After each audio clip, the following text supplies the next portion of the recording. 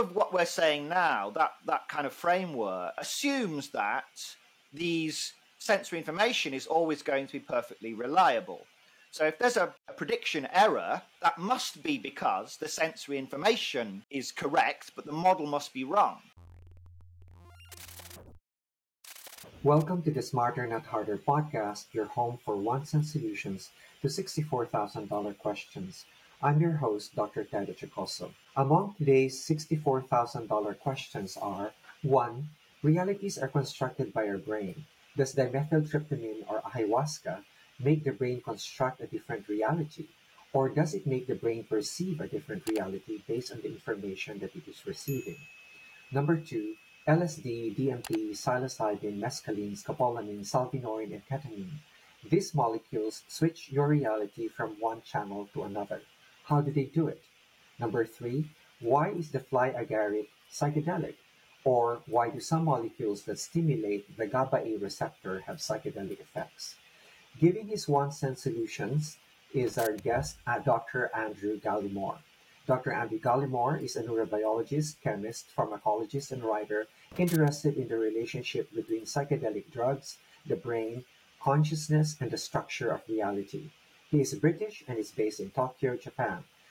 He has written a couple of books that he also illustrated and self-published.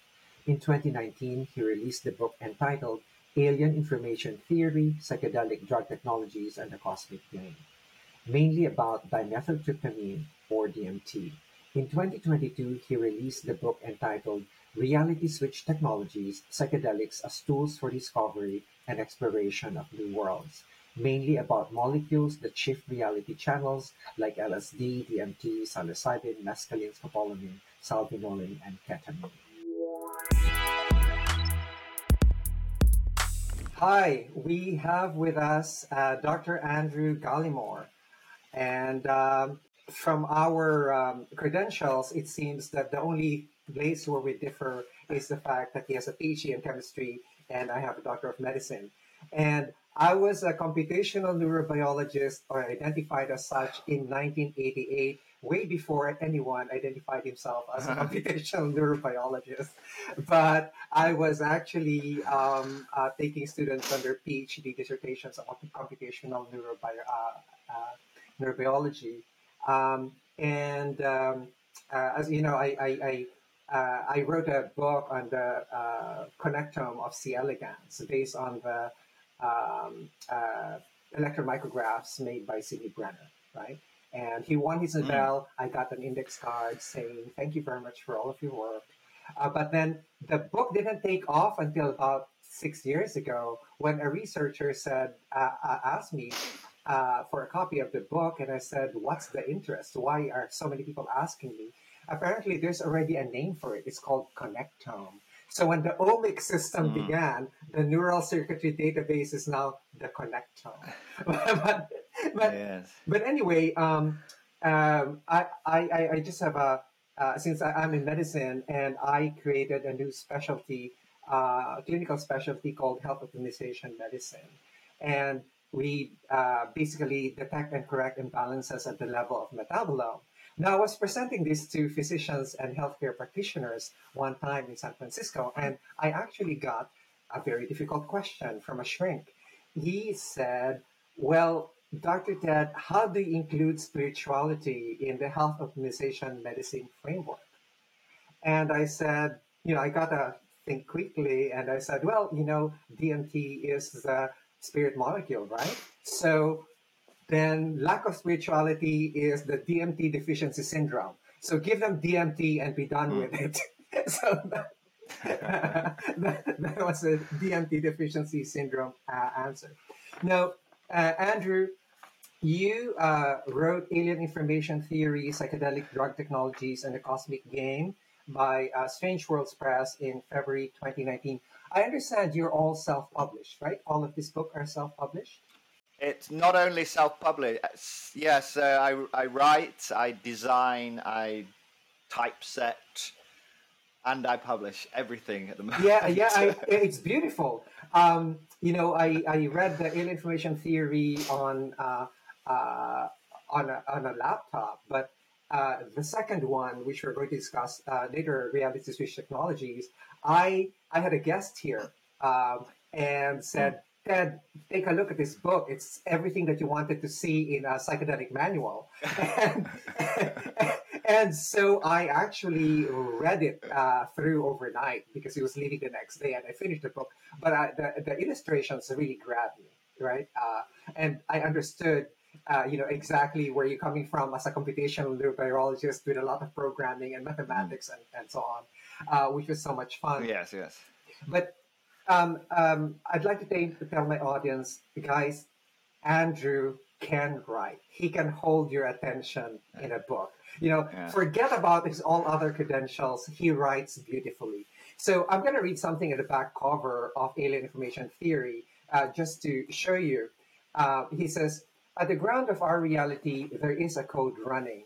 It is a code from which this universe and countless others emerge and unfold with infinite variety of form. This code constructs our universe as a computational device for culturing conscious intelligence. We are one of those intelligences emergent with this lower dimensional digital reality. As intelligences evolve, a small number reach a certain level of cognitive and technological sophistication and become candidates for a cosmic game, the final stages of which we now find ourselves playing. The key to this game is a technology embedded in our reality, which takes the form of a powerful psychedelic drug, a message scattered throughout the natural world, and N-dimethyltryptamine, DMT. When DMT enters the brain, it grants entry to a miraculously complex hyperdimensional realm hyperspace lying orthogonal to ours and to an audience with the multitudinous alien intelligences that reside therein. That is some fantastic piece of writing, and it really encapsulates the the um, the DMT experience. I have to ask you before we dive into mm. that beautiful uh, uh, précis of the book is you know, were you yourself a subject of the DMTX, uh, uh, participating subject in the DMTX uh, experiments? No, unfortunately not. I'm I I'm residing in in Tokyo, and it's um, it's difficult for me to kind of contribute physically to these kind of things. So so no, I unfortunately I think all of the subjects were pretty much um, over in the UK at uh, kind of um, around Imperial College London. So unfortunately, I, have never actually experienced the full DMTX protocol yet. Yet. Perhaps in the future when it's, it's more established, because this first study that they did was very much a kind of a small pilot study. Mm-hmm. So it was a small clutch of selected participants who were, I think, really quite experienced, um, not only with DMT, but often with taking psychedelics in a experimental setting, because that's obviously quite different, um, particularly yeah. when they're taking functional MRI scans on I you. I see. I see. Um, mm-hmm. So you know, it's it's it's a very challenging environment I think. So I'm not even sure how well equipped I would be to handle that kind of experience, you know. Well, so to, I will wait to be able to hold you in that particular uh, hyperspace, you know, for uh, mm. you know prolonged period of time. That is an accomplishment in itself, and you work with uh, Rick Strassman on that, right? And um, you know, uh, yeah. Uh, I, I, I remember one of his uh, books where he wrote. I'm sure you read it. Uh, Inner Journeys, uh, Inner Paths to Outer Space. Um, Inner Paths to Outer, outer Space. space. Yes. yes. Uh, uh, where you know that's that's one of the books that I, I, was that I actually read coming from different authors and. Um, and I was one of those who got invited to an ayahuasca journey like 30 years ago, but said no. And then 30 years later uh, said, okay, um, uh, yeah. I can, you know, I can now extract this in my kitchen. and in my kitchen, yes. in my kitchen in an island, not in the United States. Okay, so let's just put it that way. Yeah. Um, and uh, I developed, you know, a pharmahuasca protocol, uh, you know, mm. for it. and that's where my uh, my uh, journey and research and experiences with uh, DMT began. And w- what I was uh, looking at when when uh, uh, you w- with what you wrote is that you know in this where you know the experience of machine elves, etc., etc. It, it's really quite fun because there was one time when I actually had those mischievous elves. You know, uh, they were actually they felt like they were eating through my body. You know, it's just like doing this. Mm. It's like climbing through, yeah, etc. And it was fun. It was like um, you know, it was like harmless fun, uh, but it was very playful. And in that, um, um, uh, in the statement that you made, like uh, it, it's it's actually grants entry to the, complex hyperdimensional space, and from there mm. builds this certain uh, complex world, right?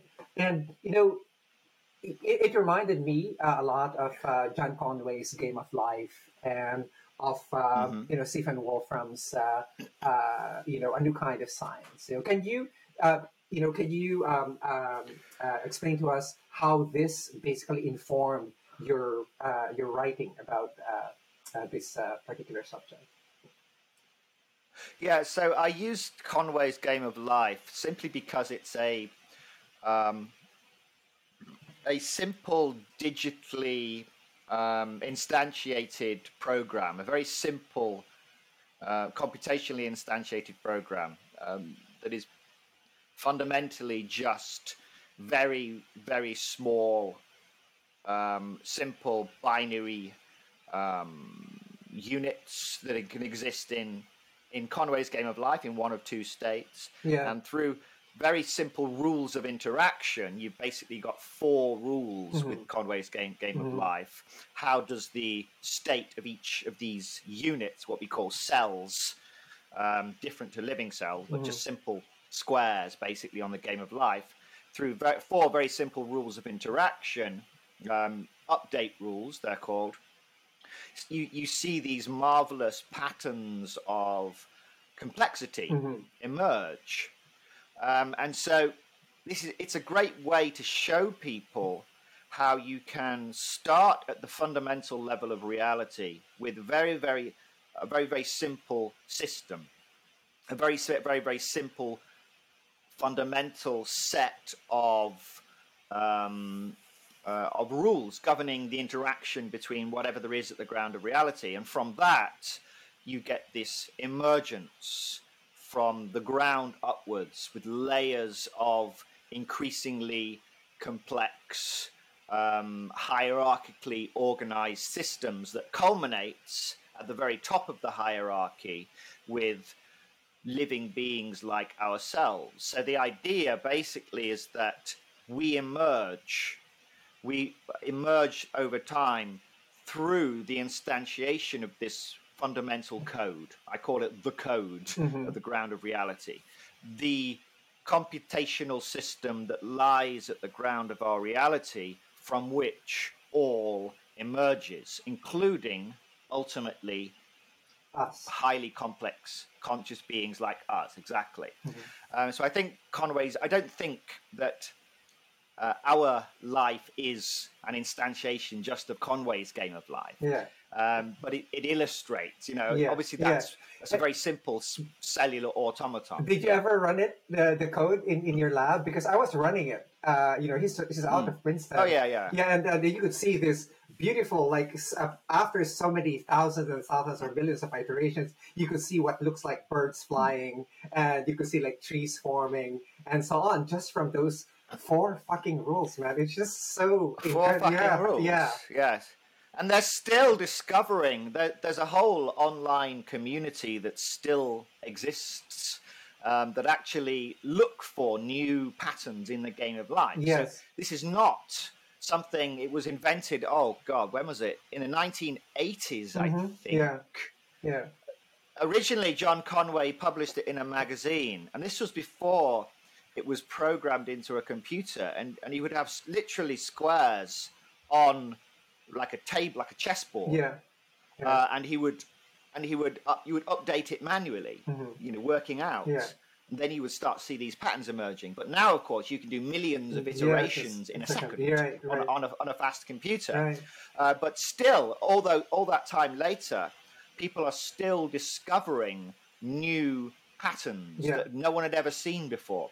Because it's an infinite board. You have infinite space, Mhm. basically, in all directions, Mhm. in all four directions, in this two dimensional plane.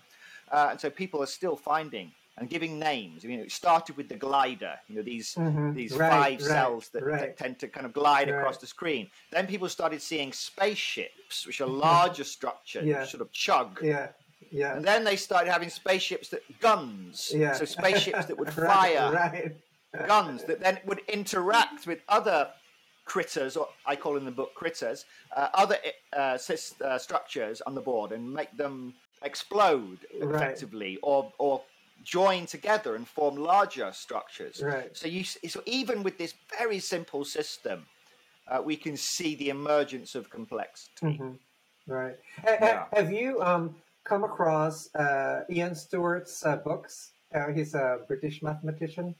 He with with Yes, with course, one, yeah. one one simple paragraph, he sent me into like a three month depression when he said, um, you know, if you just consider yourself as just one of those pixels in the grid, right? You're one square in the grid, and there are really only four rules governing you. And all the while, you didn't know that there were only four such fucking rules, right? And then he said he Yeah. calls those grid cells, right? He calls those grid cells. Yeah. And so we discover a lot of the things that uh, the, the cells are doing. We discover the birds. We discover, you know, uh, these these other things. And he says, uh, because he used the term cell for the pixel, he said, and we give each other Nocell awards for our discoveries, fully not knowing that we're really only governed by four fucking rules. And that sent Yeah. me into a depression. It's like, really? You know? Who knows these rules? But anyway, you said that Right. DMT provides us the key, you know, to something like this, to to examining uh, a word like this. How does it provide a key?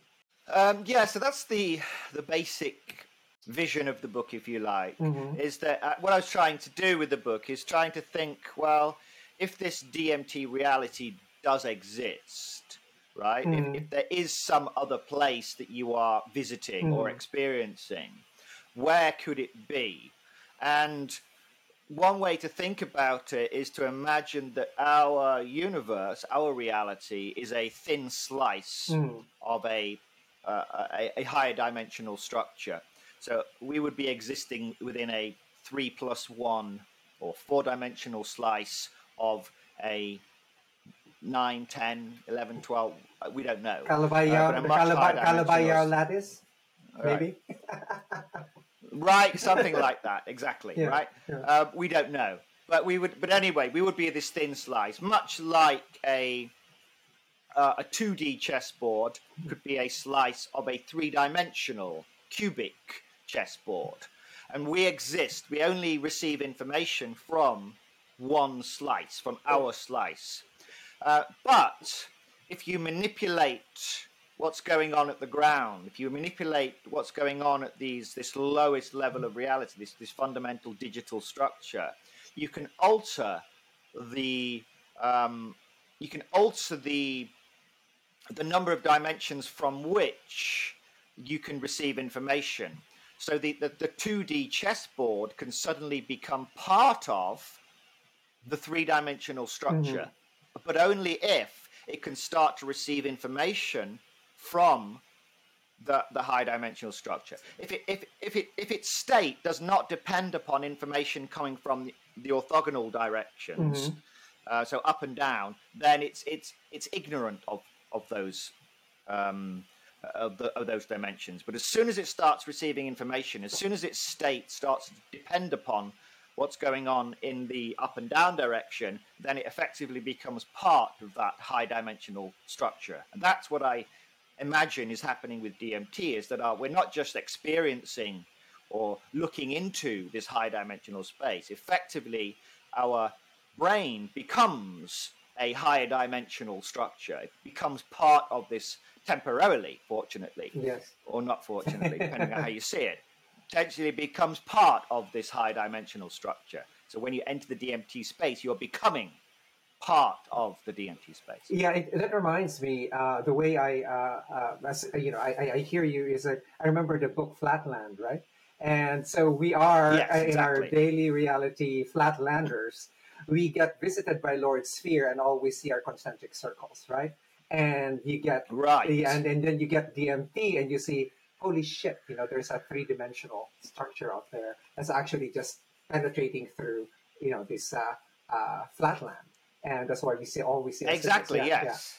Yeah. yeah. so yeah exactly. So we always see our circles but when you take dmt it's like shifting becoming part of that three-dimensional space yeah from being in two-dimensional. So then you yeah you could actually see a, um, a sphere or something right? Yeah. And that would of course be confounding to you. You would go that's impossible. Mm. you know you, your experience would you would say that's not there's no fucking way that just happened. Yeah. This object cannot exist. Right. And that's what happens when you take DMT. You go to this high dimensional space, and your response is, This is impossible.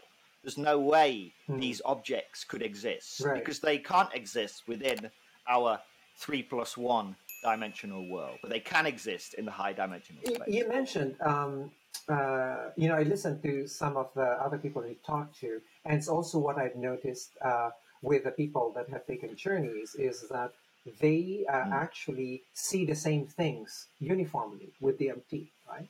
Uh, they are brought to the same spaces, they see the same things. So there is a certain uniformity uh, uh of what they bring back mm. into conscious experience.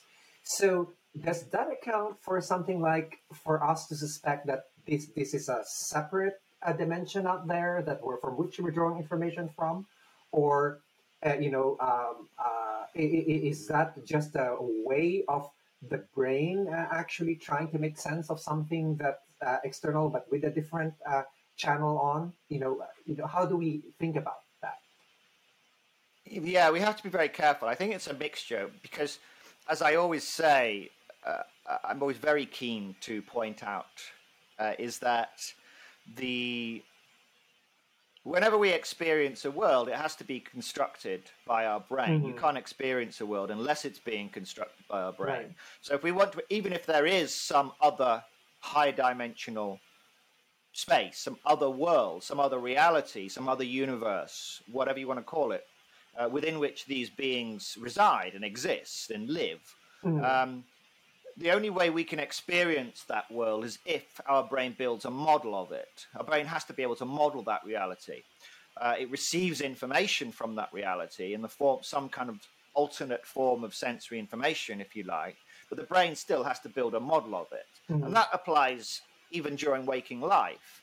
We know your, your brain is always trying to make sense of, to, to build the most adaptive, functional model um, uh, of the environment using noisy patterns of sensory information right. from the environment. So even during waking life, we, we can't say this is what the world really looks like.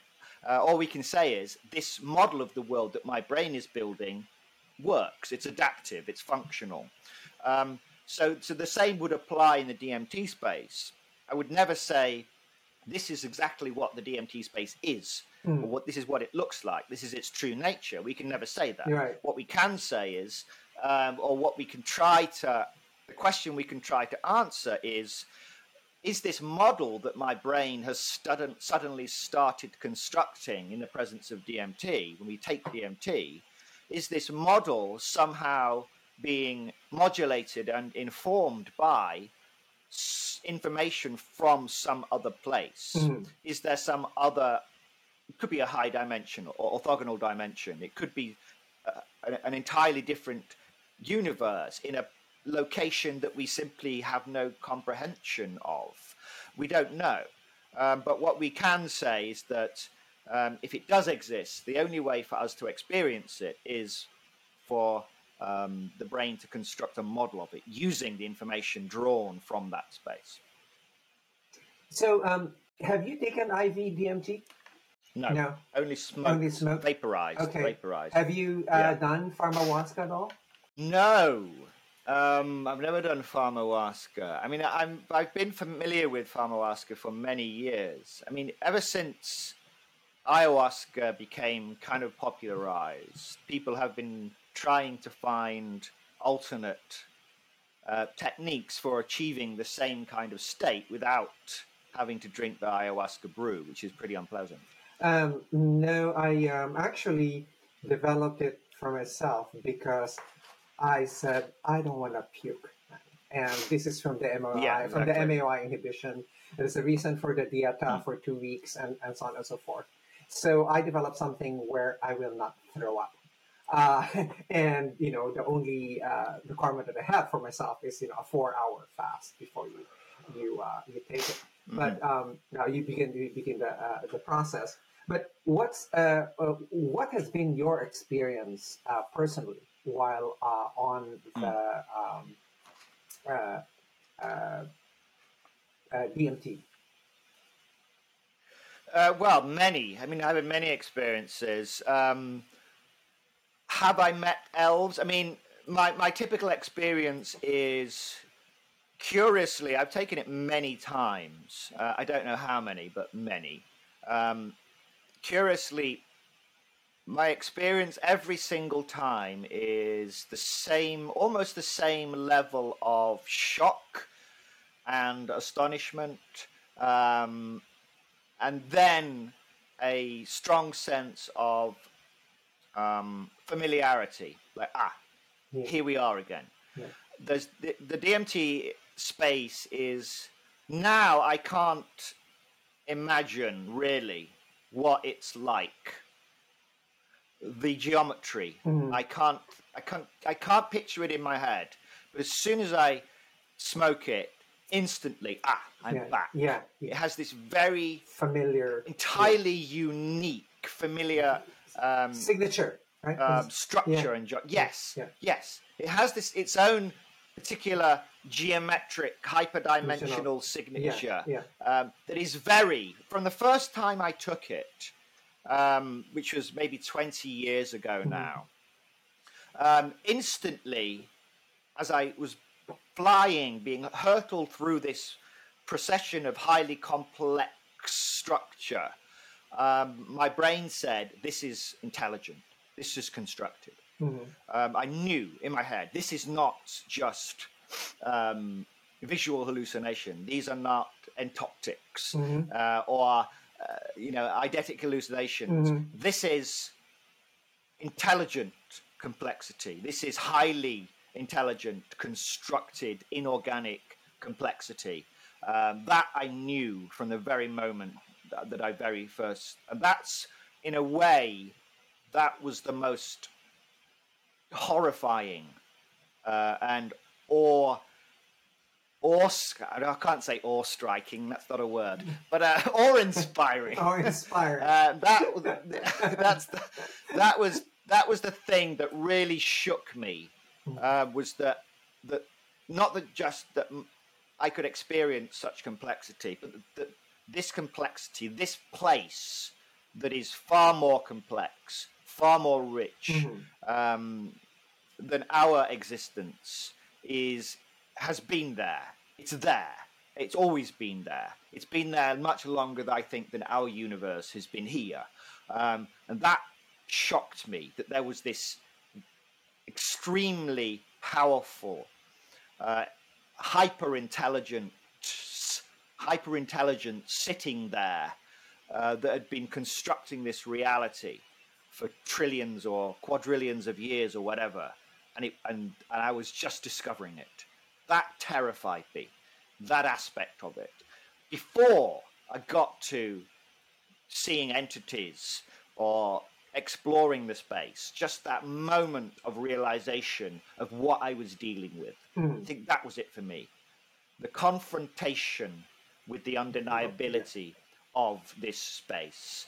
Uh, that is that's the most shocking and and, and, and It- horrifying uh, part of the DMT Yeah, experience. i i in a way, that was the same for me. I've said that the first time I, I uh, had the experience of ayahuasca, it was like having a rug pulled up from under me. And everything Yeah. that I believed in was just upended. And the first thing that, um, uh, the, the first and most frightening for me was that was this realization there are other dimensions out there, right? Yeah. For for Yeah. you know uh, uh, which are unavailable to us when in ordinary waking life, right? Uh, Yep. That are otherwise available with these types of molecules, and uh, that sort of like um, uh, uh, pushed me uh, to to uh, like you, you know, investigate what's happening. Like, and, and for me, it's more Mm. like, why the fuck do we have these molecules, you know, around? like, why are they there? Um, it's like uh, so. You know, have you have you um uh, you know Donald Hoffman wrote a book, Case Against Reality, and I don't know if you've read it, Mm. but Yes, in, in, in there, you know, we've, we, we've corresponded a little bit, and he's very much enamored by the work of Nima Arkani Hamed, right? Uh, where Nima Arkani Hamed is, a, is the, the, the guy who's saying, well, space time is doomed. And, you know, with, uh, uh, with the discovery of uh, the amplituhedron and, you know, the cosmological polytope that he was talking about, um, and, and, and you know, I, I even had the, the picture of the amplituhedron sort of like as my my um, uh, my phone uh, uh, screen for a number of years before anyone paid attention uh, to it. Right? Could it be possible that these geometries that you're talking about are existing beyond space time? Yeah, uh, so uh, Don Hoffman was. I always like to say that uh, I was reading Don Hoffman before he before he was famous. You know, people say, "Have you read The Case Against Reality?" I go, Yeah. you know, I was I was I was reading Hoffman hmm way before. But what I, what's most important for me, what uh, that I got from Don Hoffman's work was this idea, basically that we don't see reality as it is. Um, and not only do we not see reality as it is, there's no way for us to, and nor is it necessarily adaptive Right. to see truth. Um, and that's very important. When you when you when you have that realization, um, then everything opens up. You you start to lose um, your reliance on appearance and focus more on well, for me anyway, it turned my uh, attention inwards and think, okay, we can kind of forget about not forget. We can accept, yes, there's information, sensory information coming from outside, from the environment, but we don't have to focus too much on whether it's true or whether it's correct, uh, whether it's real, that awful word, um, whether it's real. But we can focus on the model. Um, and that really opened up um, not just Don Hoffman's work, but others as well, but opened up the idea that we can, we can focus on uh, the construction of the model and how that model is being constructed and how that model can be um, perturbed, Mhm. how you can shift from constructing one model to another. So, you know, with DMT, your brain is, cons- you perturb the brain with this simple molecule, and for reasons that we don't quite understand, um, but that, that I think about a lot, is this perturbation causes the brain to start constructing an entirely Different model, a model that normally bears no relationship whatsoever to the model it's evolved to build. Right. This adaptive model that it's been refining and honing over millions of years. Right. Um, suddenly, it starts building this completely different model that has more dimensions.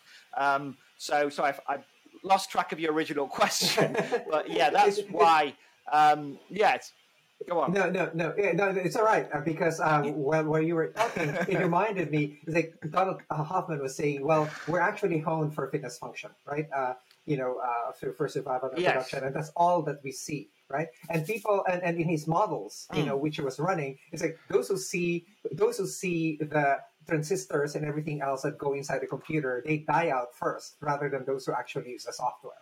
So, uh, because uh, one, you know, he and he considers, um, you know, the body as a simple interface, right, uh, to this particular dimension, uh, which is actually, That's it. yeah, uh, you know, it, it's it's a we're, we're an interface. Um, uh, this whole thing is an interface. And the last statement that he gave in his book, uh, which was actually um, uh, left me pondering, is that what if you're playing um, volleyball, right? And you're playing volleyball, etc., etc., and then you suddenly uh, felt so thirsty, and you you you take out your VR suit, it's like, and you go for a drink, and he says, "Who's coming out of the VR suit to go for a drink?" So mm. that was a, a kind of uh, interesting way of uh, putting things uh, in, in perspective as regards you know what we're seeing when we're in a when, when we are in a DMT experience. Now the uh, the other um, mm. I think that uh, I, I, wanted to place in there was that you know in terms of our brain constructing like all, all of this you you were we were talking about the uh, you know that we were honing this this uh, brain as a predictive uh, predictive machine, right? Uh, it just predicts, mm. and it makes a lot of um, uh, it's uh, you know again goes back to the auto generative models. Like we continue generating models all the time, and that's why we're beset with so, much, so many thoughts all the time, and none of them are real. They're just being put out by our program in hmm. there, which I call the auto, automatic uh, thought generator. Right? It just it just puts in all of the things like, oh, this is the way you catch the ball. This is why you run your business, and so on and so forth. And it's just going there all the time, but none of them are uh, hmm. are actually real. But then when you get into the DMT space, all of that just, just quiets down and is just removed from the equation altogether because they're irrelevant, mm. right? Uh, yes. And the the fact of their irrelevance, I think, says something to to us. You know, uh, you know, uh, we, you know, this has been this has been um, uh, romanticized as the ego death or something. Um, what do you have to say to that in terms of like, yes, you know, DMT is being used for ego death? Um, is DMT being used for ego death?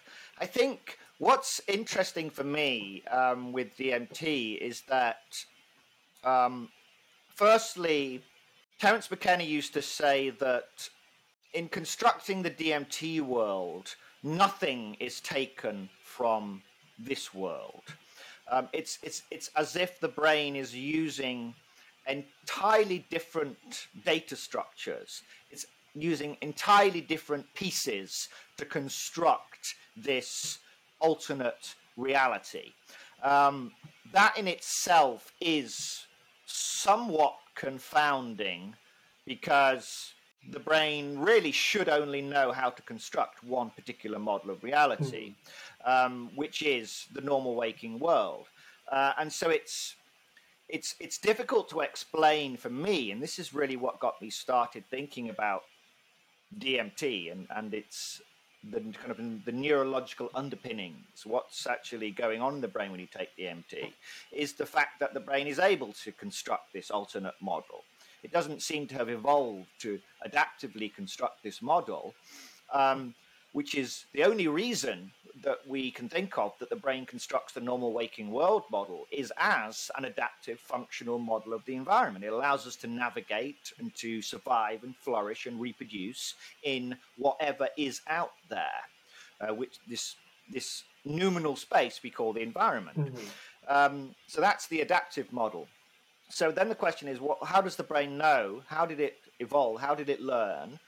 How is it capable of constructing these very consistent um, models of this alternate reality that bears no relationship to the normal waking world. How, how did that happen? So that to me is confounding. Also, uh, going back to the ego thing, I think one of the striking things about DMT that separates it from other psychedelics and certainly other psychoactive drugs, other intoxicating or narcotic, uh, whatever you want to call them, drugs, is that the the Terence McKenna again used to say, in a way, it doesn't affect your mind. It leaves your ability to navigate and explore and um, observe the space intact. Uh, you are not confused. You are confused, but in a in a true sense of confusion, like what's happening you you get to ask those questions. If you're truly in a state of delirium, for example, um, you might not even be capable of formulating a question. What the fuck is going on? Mm. And that's also what one of the with DMT. It's like it doesn't touch that. It's like those parts of your those this kind of the frontal, the critical um, parts of your brain that are, that are kind of the executive function, if you like, Mm-hmm. that is able to look around and go, what's going on in here, is left intact.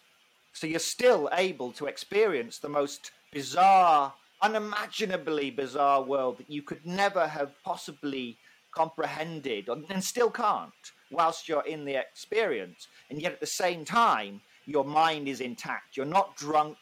You don't feel stoned. You don't feel uh, um, dizzy or disoriented in a way. It's like you're you're there. Mhm. All that's happened is the reality channel has been switched, Right. uh, and, and in, a, way that makes it all the more terrifying. You're not. There's no kind of um, uh, intoxication buffer. There's none of that alcohol-induced. Uh, it's okay, you know. I'm just kind of uh, like you would if you were in a slightly kind of a dreamy state, Mhm. or if you were in a dream. Because in a dream we lose that function as well, so we don't recognize when something really weird happens in a dream. Normally, unless you're a lucid dreamer, Which I don't am. go. I'm, I'm lucky. impossible. I'm lucky. Oh well, way. there you go. Yeah. Uh, yeah, I used to have lucid dreams since I was a little kid. I would something bad would happen, and then my I would think, "Oh, it's- it's okay, it's it's just a dream." Then I would realize, but I can't do it um, intentionally.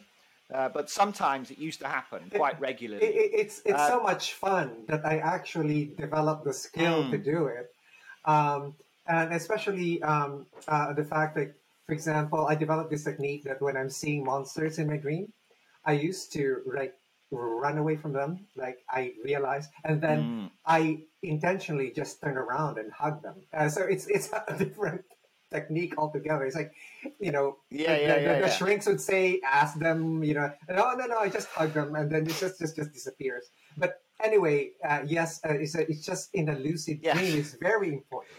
That the, the Mm. point that you were making. Yes. Yeah, I think so. Because if you're in a normal dream, the most bizarre things can happen and, and you don't recognize them as being odd. Um, so, in some ways, yes, that can be um, more terrifying because you think it's really happening, but also it, it kind of it separates you almost. There's a slight disconnect from the way you normally experience the world. Normally, you experience the world and you're always looking out for your brain is always looking out for things that are incongruous, things Mhm. that aren't quite right, and that's obviously an important part of your neural neural function. Um, and in in the DMT state, it's not like the dream state where you um, where you lose that function, that critical executive function. You keep it, and so so you're there. You're still able to voice and say what is happening. My reality has just been completely switched. It has been turned around completely. There's nothing left of my old reality, and here I am, fully conscious, fully awake, more awake than I've ever been in my life, fully aware of what's going on, and fully able to appreciate it. Yes, there's confusion. Yes, there's shock. Yes, there's inordinate complexity so that it is disorienting in a way, but still your mind remains sharp. And that's also, um, I think, uncanny with DMT is that it, it leaves alone the parts of your brain you still need uh, to kind of navigate and orient yourselves and make sense of the space, which is another one of those pharmacological peculiarities that DMT has. The way it's so clean, it's like a razor. It slices through your reality and just reveals a new one in such a beautifully efficient way. I, I and that's what I, I I I call it. It's like it's cold, right? It's like for me, it's like a Mm. cold marble. It's not emotional. It's nothing. It's just like you know. I did, you know, for for for one summer, I did as a uh, uh, my my elective as an in autopsy pathology, and it's like it's just like it's with surgical precision that it disassembles you Yes. right? It disassembles you Yes. and you leave everything behind and you're left with nothing to hold on to. I think that's, uh, Yes. and that is very terrifying um, because, Oh yeah. Oh yes. you you um you uh, uh, actually continue mentioning a phrase, and I would like to segue now into your newest book, which is released October um, uh, third uh, of uh, 2022, uh, and which I had the pleasure of uh, reading overnight um, because it's not available. Wow, well done. It's not available on. uh, it's not available on uh, digital form. It's on paperback, uh, but it's worth it because all the illustrations are incredible. I uh, I'm one of those people who enjoy nice circuit diagrams and what they do to, mm. the, to the, gating systems Me of too. the brain. I'm, I'm an interventional neuroradiologist, so I mm. tend to close my eyes and take a look at what's happening to the brain. And then when I get into computational neurobiology, it's like, what are the gating systems here? What patterns do all of these neurotransmitters form? Because when you infuse, for example, DMT, the other neurotransmitters are not quiescent, right? They're still they're still mm. there, but what they're doing, we actually don't know. But what I, I want to do now, uh, as I did in the first uh, for the first book, is I would like to read now. Um, uh, how mm. the marketing blurb looks like. It also captures. I'm sure you wrote this, but it also captures. I did, yes. it captures elegantly what the book is about, right? Uh, so you are in possession of an exquisite machine, motions, motionlessly buoyant in the softly circulating fluids of your skull when you said that statement, man, I was just hooked. this is it. this guy knows how to fucking write. Uh, a world building machine and psychedelic molecules are the tools for tuning and operating this machine.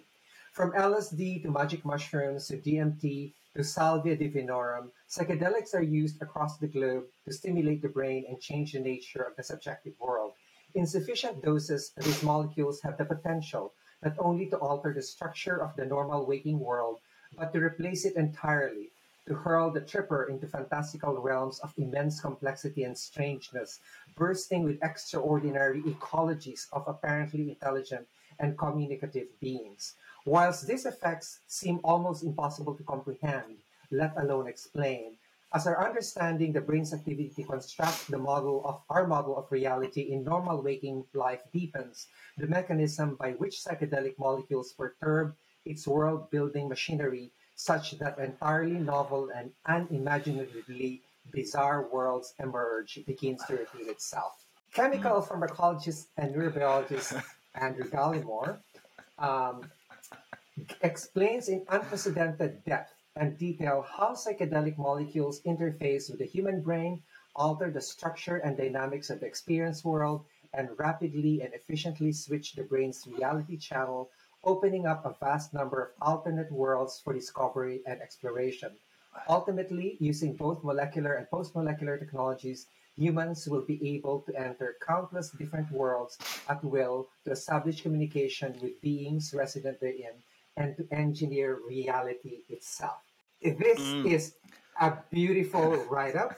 And immediately, uh, I, I said earlier, uh, you know, it's like I said, no, no, no, no, no, no. I said this is not inner path to outer space, uh, but uh, you know, it, it, just made me remember that. Um, there's also, um, you know, you're familiar with Ram Dass, of course. He's a um, Be Here Now podcast network.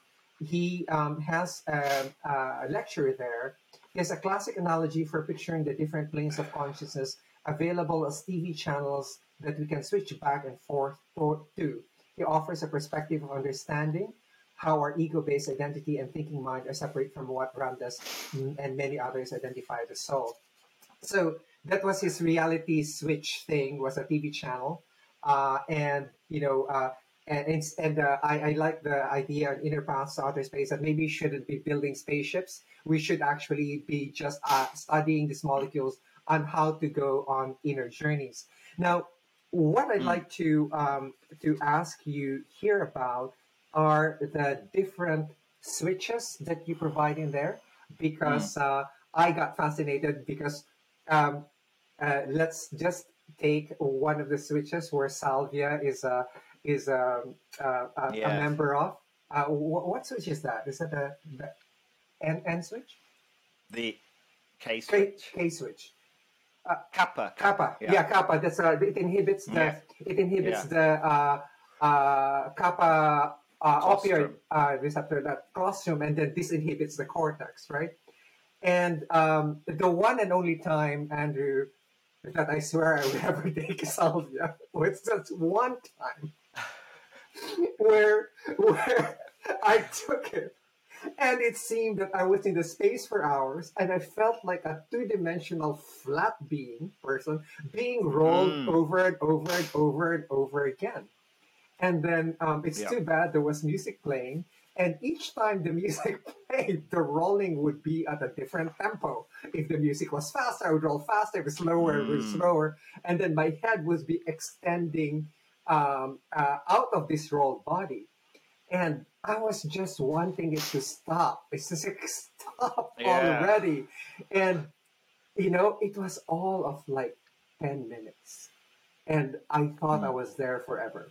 So, have you taken salvia and can you explain yes. to us the, the switch mechanism in there? Yeah, so salvia, in, so the salvinorin is the active component of, of, of salvia divinorum. This what used to be this rare Mexican um, divinatory herb that would only grow in one small region in the cloud forests of southern Mexico. This very, very rare plant that never set seed. Um, so you had to actually take cuttings of it in order to propagate it. So it was so rare. Now, of course, everyone's heard of salvia, and people always say, Have you taken salvia? Um, that didn't used to be a common question 30 years ago because no one had heard of it. Uh, and what's, again, kind of astonishing about um, salvinorin is that it it exists in this really rare plant. It's a one-off. It's only produced by this plant, completely different to DMT. With DMT, you find it everywhere. Mm. Everywhere you look, you can see a plant that contains DMT. This is a specialist specialist reality. A specialist reality. It's a specialist, yeah, exactly. It really is. So, so salvinorin, it's this remarkable molecule. It's not an alkaloid like DMT and mescaline, uh, LSD, you know, the ergot alkaloids. So, derived from a completely different biosynthetic pathway, from the so-called terpene pathway.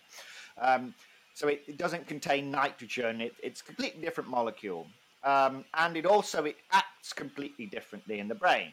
So the, the classic psychedelics, they bind to these serotonin receptor subtypes, mm. specifically the 5-HT2A receptor, right. uh, in deep layers of the cortex. That's how it exhibits uh, or exerts its effect. And we kind of understand yeah, that, that's to a, a large extent now how that C works. switch, right? The classic ones. That's the classic yeah, switch, yeah. yeah. the C switch. But with the K switch, you have these um, kappa opioid receptors, mm-hmm. right? Which are these inhibitory receptors which are found in very high concentrations in this small part of the brain that's underneath the cortex called the claustrum, this quite thin sheet uh, of, of cells, but projects to all different regions of the cortex. And it, the claustrum has, well, its role is still not fully understood. Mm-hmm. Um, there are still conferences that go on every few years dedicated to understanding the claustrum. It's kind of a. Isn't uh, there a group that says that it's the seat of consciousness? There's one group that says, right? Yeah, yeah, yeah. That that go back to, goes back to Francis Crick. Yeah, yeah. Uh, Crick, Francis yeah, Crick yeah. thought that the, the claustrum was the seat of consciousness. Yeah. I don't know if that's true, but what we know is that the claustrum it sits there, it, it, connects to all these bidirectionally, has these bidirectional connections, all these different regions of the cortex, and it has this overall kind of global inhibitory control.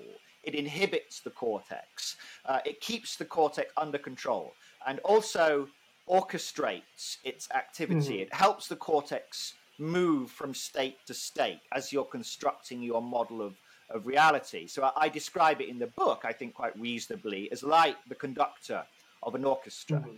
Like the the conductor is is is is telling which instruments to to play a bit more loudly. The other mm-hmm. ones, whoa, whoa, whoa, yeah, you know, yeah. and it's it's maintaining the flow of the music uh, and the control of the orchestra. So your brain is like the orchestra, and the conductor is the claustrum.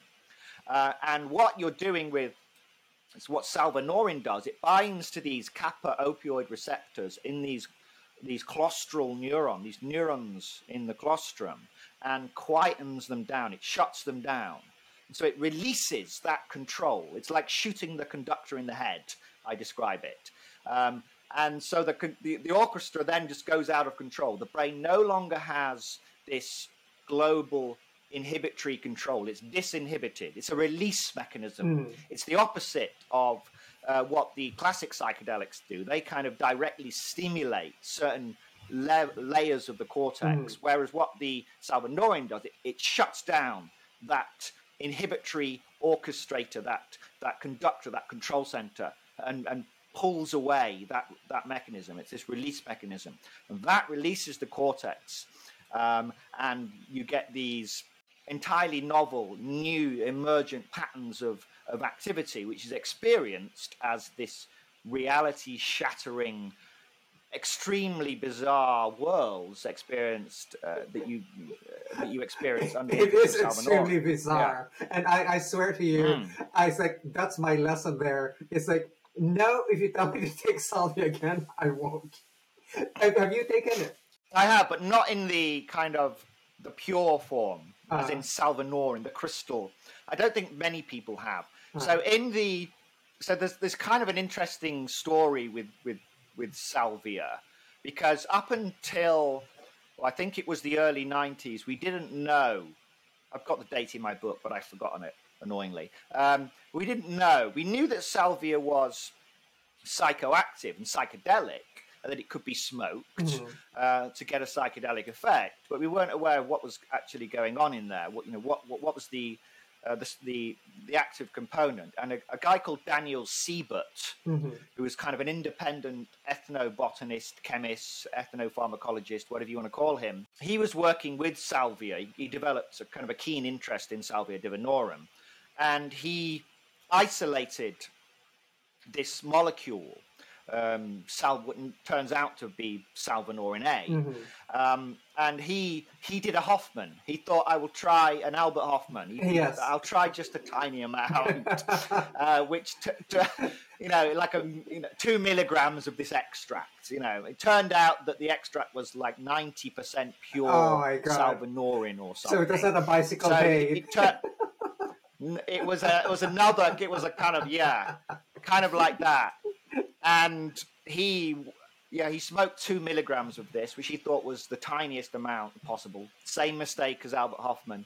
And um, he had the most you know the, he, he had the most appalling uh, reality tearing experience. Uh, and and he, he, he went through all these different worlds. He thought he completely lost any contact any concept of his original existence as a human or any kind of human existence was gone. And he was in these appallingly strange worlds. He finally came back and he scratched onto a piece of paper. He said, This is. Um, what did I write in the book? This is tearing. This is madness. This is tearing apart the fabric of reality, and that's I think, perfectly describes what Salvinorin does. It tears apart the fabric of reality. It it removes all um, all of your moorings um, from your original world are gone ferociously, mm-hmm. ferociously, uh, with without any mercy. Mercy, no mercy. Yes, yes. No mercy and there's an existential i describe it in the book as an existential absoluteness mm. about the salvia space when you're in there deep. Once you're in there that reality is the only reality mm. that there ever was. There's no sense that you've just come from a human existence and you're visiting this space. No no no. You've always been here. This is the only reality that there has ever been, and you're you're here forever. yeah, that's that's a, that's a scary, most appalling place. yeah, that's that's yeah. the scary part of it. I thought I was going to be yeah. rolled into the two D structure forever. That's it. You know, it's like, yeah. and that's the scary part of it. Can you contrast uh, the um, then the uh, that switch with the classic switches that we have, the C switch? Yes, so so with with salvia, as I said, it, it's the release mechanism. Mhm. You're release, you're disinhibiting the cortex. Mhm. With the, what the classic psychedelics are doing is they, rather than activating inhibitory receptors, so the, the kappa opioid is an inhibitory receptor, it's Mhm. inhibiting the claustrum. Uh, you're working directly on the cortex with Mhm. the classic. So the classic switch, you're activating these 5-HT2A receptors, which are heavily expressed in um, layer five. So the cortex has, as you know, six layers that Mhm. we've identified, basically. Mhm. Uh, and these deep layers go from one at the, the out, outermost. Uh, the deepest layer is levels layer 6 Then Mhm. layer five, you have a very high concentration of these 5-HT2A receptors, and psychedelics, classic psychedelics, they selectively, unlike serotonin, which obviously interacts with all the different types of receptors. Um, the, the classic psychedelics specifically, not 100% specifically, not 100% selectively, but quite selectively, they bind to and activate the 5-HT2A receptors and thus they stimulate, rather than inhibiting, they stimulate directly this layer of cells in this deep layer of the cortex. And what that does is it allows information to start it it excites these neurons first of all. It makes them more likely to fire. It makes them more likely to uh, transmit information to other neurons. So you start to get in you start to get the spread of information out of these well demarcated and well defined networks that are defined by neural connectivity that normally keep your world model um, kind of not rigid but they keep it well structured. Um, they keep it stable and adaptive so that your brain c- can make sense of, of the model that it's building, so that it can make sense of the environment.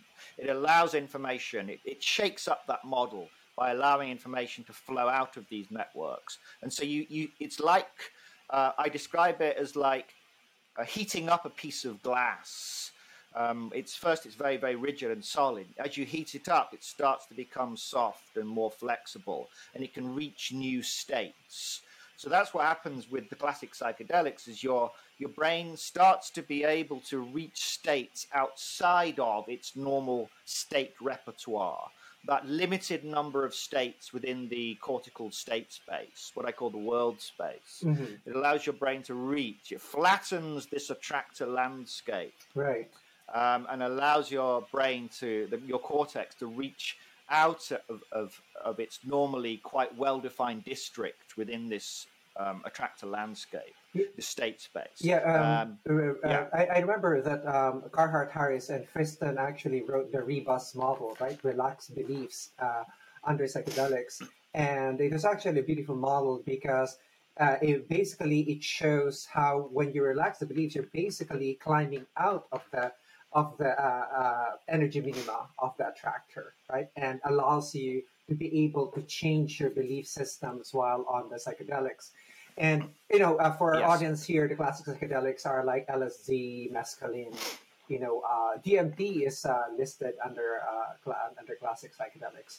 Um, and um, Yeah. um, what's uh, interesting uh, about this is that you know I, I I have just been in conversations with addiction specialists recently, and they seem not to get that um, you know these classic psychedelics are, uh, non-addictive, right? Uh, and and um, uh, it's like oh you know all psychedelics are addictive, and it's just like the the, the for me the mentality of uh, you know uh, illness medicine physicians and not understanding what mechanisms there are and so on. I said, well, you know, um, uh, uh, when I start explaining, these are uh, tryptamine derivatives. You know, they're not really, they're not really addicting. I said, if you're taking a look at phenethylamine derivatives, maybe yes, because then, then you're you're looking at Hmm. you know all of these methamphetamines and, and all of that that are highly addictive stuff. Yeah.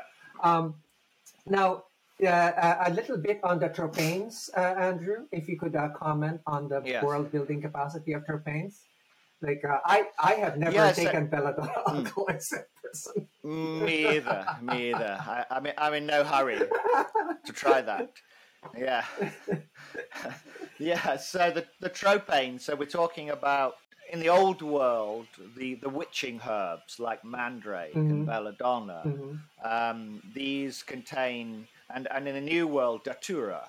Yeah, the, um, the metel. Yeah. And, and Brug, Brugmansia, these other um, ritualistic herbs that are used to enter other worlds, but very different other worlds than mm. what you experience with the tryptamines.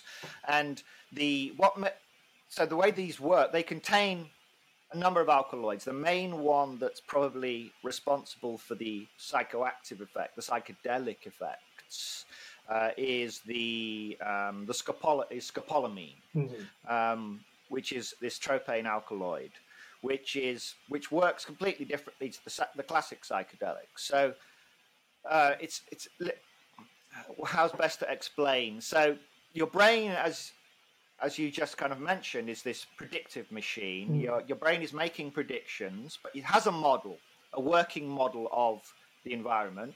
It uses that model to try and um, it tests the model basically against sensory information. It says if this model is working correctly, I should be able to predict what's going to happen in the next moment. I should be able to predict the next pattern of sensory information right. that's entering my brain. So if I've got a model of this pencil moving across the screen, my brain has a very good model of how this is moving. But it doesn't really need to absorb much of the sensory information because it already knows. If it does that, then your brain has a bit of an issue. It has to update its model. So your brain is always making predictions and attempting to um, to quell, to quash, um, to filter out sensory information because sensory information is it's expensive to process. Right. You have to stimulate all of these neural pathways, mm. and you know, uh, neural connections aren't cheap. They're not. You know? so you have these. Yeah. The natural, so the natural collimation of uh, sensory data, right? Uh, I remember, um, uh, you know, uh, Einstein's famous uh, line is like, uh, "You mean when I look at the moon, it isn't there?" Well, you know, it just mm, yeah. it just gets data collected, and you know, because right.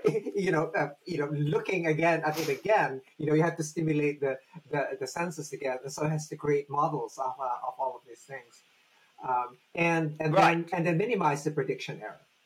So, what does scopolamine right, exactly. do to that? Yes. So so when the predictions are wrong, when there's a, an error, as you say, you get this prediction error. And it's only the prediction errors that are transmitted up through mm. the cortical hierarchy into the cortex and then used to kind of update the model. So your brain changes the model. If it gets the prediction wrong, your brain uses the prediction error as a testing signal. And it updates its model, alters its model very, very in a very fine finely tuned kind of way, subtle mm. way, uh, until those prediction errors go down again. So it starts to um, become more successful again in, in, in making predictions. Right. so that's your, the basic, your Bayesian, that's, that's, predictive coding. Yeah, your your Bayesian priors are updated, right? Your assumptions about right, yeah, exactly. Yeah, yeah, exactly. Yeah. So you, you're updating those priors. You're updating those those predictions. Um, so, but those the, the problem the brain has, and it's quite a major problem, is that all of what we're saying now, that, that kind of framework, assumes that these sensory information is always going to be perfectly reliable. So if there's a, a prediction error, that must be because the sensory information um, uh, is is correct, but the model must be wrong. Mm-hmm. But actually, that's not always the case. Sometimes the sensory information itself is flawed.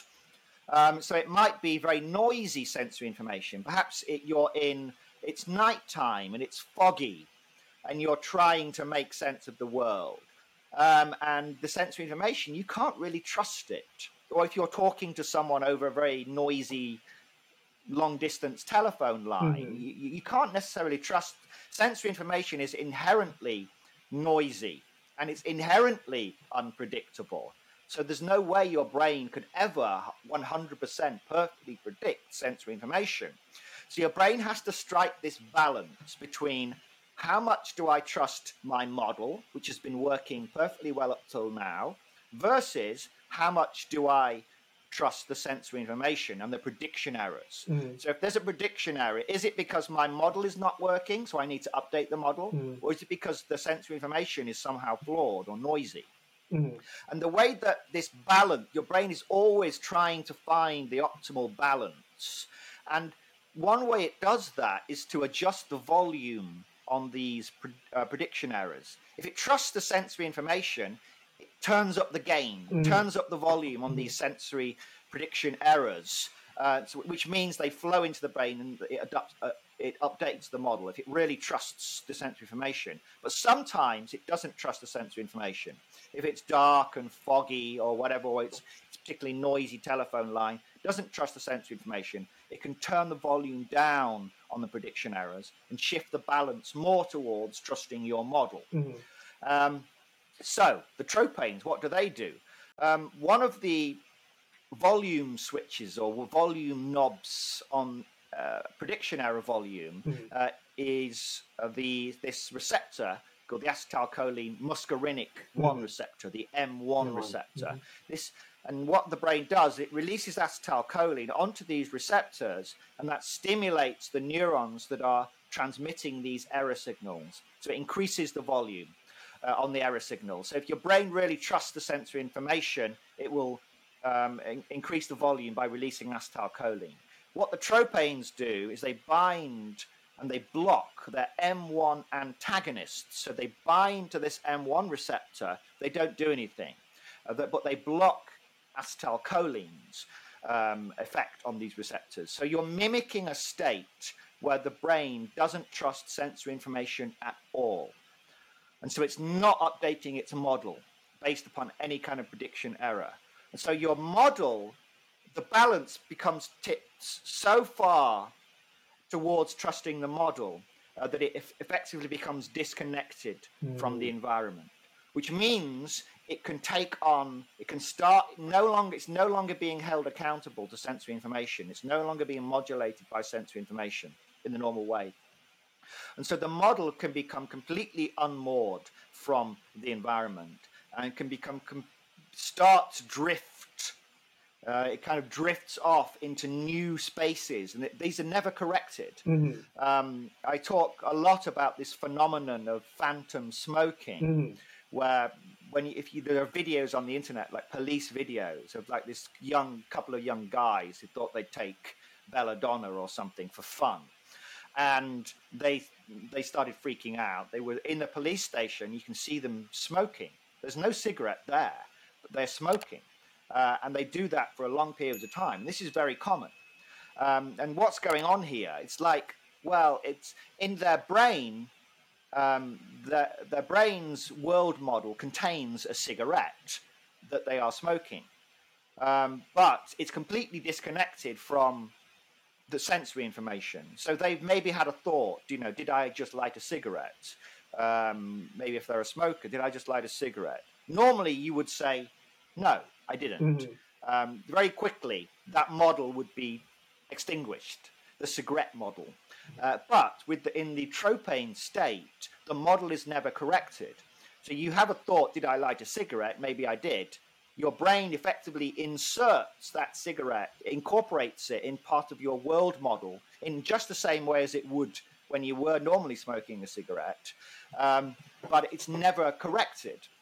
And so you continue experiencing the world as if it contained the cigarette. Now you can then expand that and imagine well, what if uh, I imagined um, a, a, party going on in my room?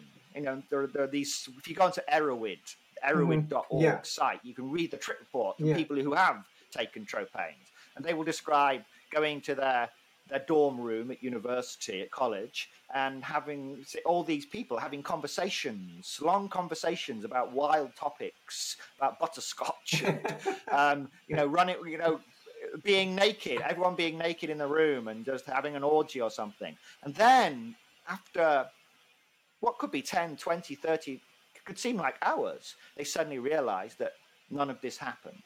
Um, it was all, so it's like a waking dream. Hmm. In the dream state, again, your brain is disconnected. You're not, it's not held accountable to sensory information. So the world can kind of drift and move and shift from state to state. Right. Um, fueled by emotion, fueled by random patterns of neural activity, fueled by imagination, all these things, you, the, the world. And so it's like you're in a dream, but you're fully awake.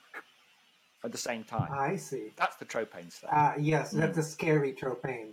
Uh, it's just like Yes. uh, for me, uh, the way I, I remember it is just, it's just like uh, uh, you're unwilling to exonerate the uh, uh, the uh, the perpetrator, uh, even if there's uh, DNA evidence uh, already contrary to the fact that, that you know he wasn't there uh, at the scene of the crime. So uh, Right, it's like you cannot change your belief system otherwise, um, which is Exactly, which is yeah. so different from from uh, you know a, a classic uh, psychedelic, which loosens all of those all of those beliefs.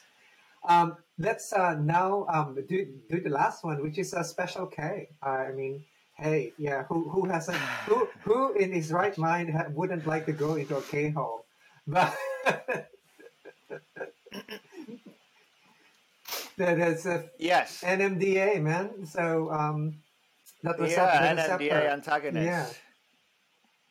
Yeah, so NMDA receptors again. So NMDA, um, like ketamine, particularly PCP, these are the drugs we're talking about. Uh, again, these have a completely different mechanism. Yeah, a- aryl cyclohexylamines, right? Uh, what's the mechanism? Yes. So these uh, aryl cyc- cyclohexylamines, uh, they bind to the NMDA receptor. Mhm. So the NMDA receptor, this is probably the most complex in some ways uh, of all of the, the, the well, uh, of the four switches that I discuss in the book. yeah, that's why I, I it said it last. to- that's why I said it last. last, yeah. Yeah, so NMDA receptors, so they are found particularly. Um, let me try and get this right. It's a long time since I wrote the book. Um, so NMDA receptors are like uh, they're, they're excitatory receptors, similar to but not quite the same as AMPA receptors. So AMPA receptors are glutamate receptors normally, uh, and they are used to um, uh, to stimulate neurons. So glutamate binds, sodium uh, and other cations sometimes come into the neuron, and this depolarizes the neuron. Um, and NMDA receptors are a little bit more com- complicated than that, but it's basically the same principle. You have glutamate binding, um, and then sodium enters the cell, and it depolarizes the neuron. Um, now, NMDA receptors are found in particularly high concentrations Mhm. on these this group of neurons called inhibitory interneurons, which are found throughout well the entire brain. So in the brain you have this balance between excitation and inhibition, and that balance is very very important. If it's if, if there was only excitatory connections in the brain, uh, then your whole brain would light up, uh, and there, was, there would be no way to control. So you always have these inhibitory connections, inhibitory interneurons that sit between the excitatory neurons and, and keep them under control. They control the patterns of activity uh, of the cortex. They're, they're, they're often connecting to hundreds of different neurons at once and just making sure that the neurons don't go wild, so to speak. All right, Andrew, let's now uh, go to one of the most complex switches, uh, reality switches out there, which is ketamine, which belongs to the aryl cyclohexylamine class. And I know that um, this is going to be a complex uh, uh, conversation, but please uh, enlighten us on how these switches are reality. Yes. So so ketamine, uh, PCP, um, these are the the the uh, aryl cyc- cyclohexylamine molecules that most people are reasonably familiar with. Um, they, they, they are psychedelic at low doses, uh, but then they shift, and I'll talk about a little bit about how that works. They shift to a more dissociative anesthetic effect at high doses. So they have this kind of plateau of effects. But at low doses, uh, what they're doing is they're, they're what's called NM, NMDA antagonists. So the NMDA receptor is this excitatory receptor. So it's, it's, a, it's a receptor that stimulates neurons. It's a glutamate receptor. Um, glutamate binds, um, and something else goes on with magnesium, but forget about that. And sodium ions enter the cell, uh, and this the neuron, and this stimulates it, depolarizes the neuron, and, and, and increases its its excitability. makes it more likely that it will fire. So, um, so overall, NMDA receptors they stimulate the cortex, they stimulate the brain. Now, mm. the NMDA antagonists they block the NMDA receptor. Um, so they stop that stimulatory activity, and yet, and this is the great paradox, uh, mm-hmm. well, it used to be a bit of a paradox, they actually cause an increase in cortical activity. They don't decrease it. You would expect that when you block the NMDA receptor, which is a an excitatory receptor, um, mm-hmm. you would you would dampen down. You would get perhaps more of an um, uh, a sedative effect, but you don't. You actually get at low doses, you get a stimulatory effect, uh, which is actually psychedelic. Mm-hmm. And now the reason for this is because, so in the brain you have two broad types of neurons. You've got many types of neurons, of course, but broadly you can you can group them loosely into two categories. The excitatory neurons, so these are the ones that are stimulating each other. These are the ones that are transmitting information and constructing your experienced world model. And then sat between them, you have these often quite branched little neurons called inhibitory interneurons. Mm-hmm. They sit between the neurons. And what they are doing is they are controlling, they are quieting the activity of the excitatory neurons um, and helping your brain to regulate what's called the excitation inhibition balance, the mm-hmm. EI balance, which is mm-hmm. very important. Mm-hmm. You have to have a balance in order to are control these, your these activity. GABA, are these GABA interneurons? These are GABA releasing interneurons, yes. Okay.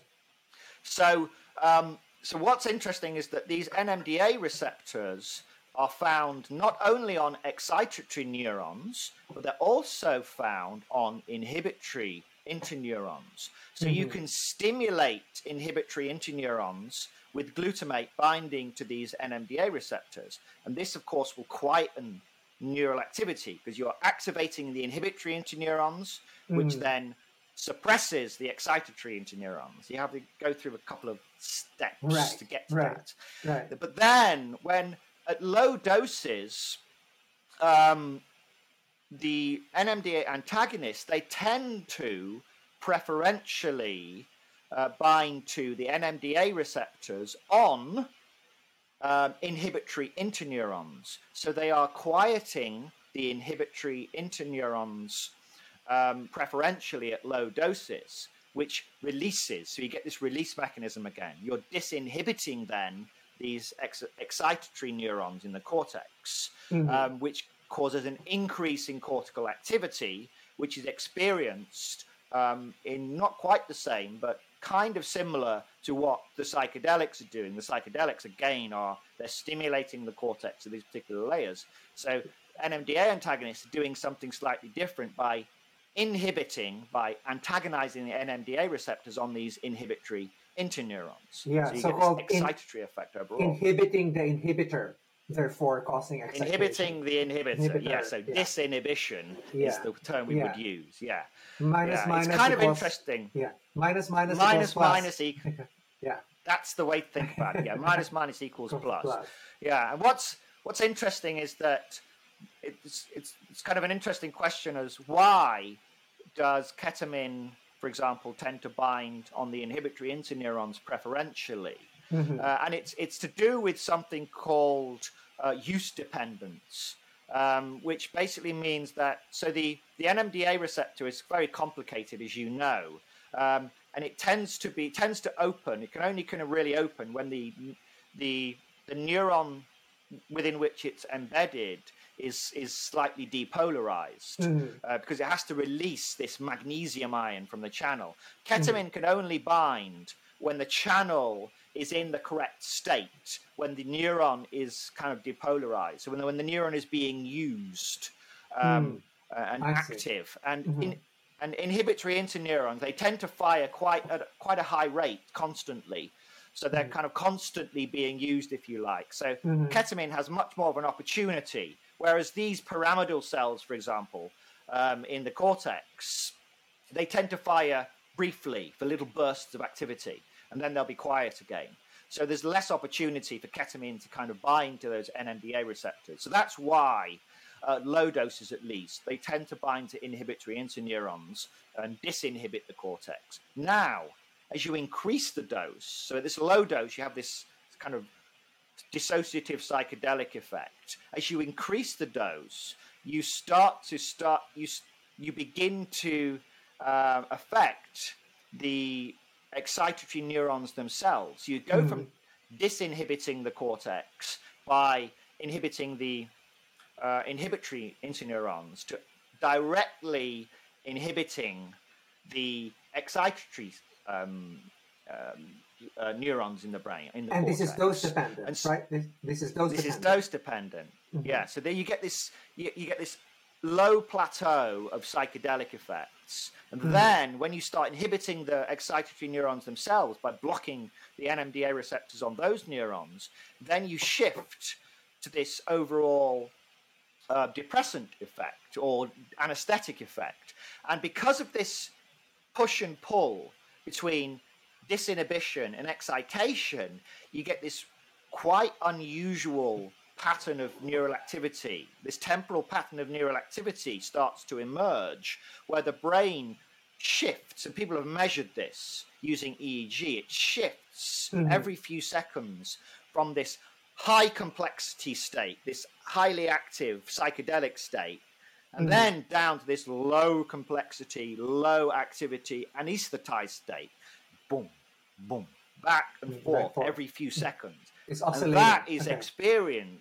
Yes, it's kind of oscillating every few seconds, and that is experienced as this not like a normal anesthetic effect where you just kind of go to sleep or yeah. become un- more and more unconscious, but you're in this weird state where you're both awake and then asleep and then awake, and that merges. So you get this unusual state of consciousness emerges from that, where you are both dissociated, disconnected from the environment, in, uh, but also at the same time. Um, kind of aware and in this alternate world. So it's, it's, it's another way, if you like, of allowing the brain to start constructing alternate worlds. You know, new worlds mm. begin to emerge that, that aren't being held accountable to sensory information. So, when you are oscillating that way, is that when you feel yourself in a in the hole, or how how does that relate to the K hole itself?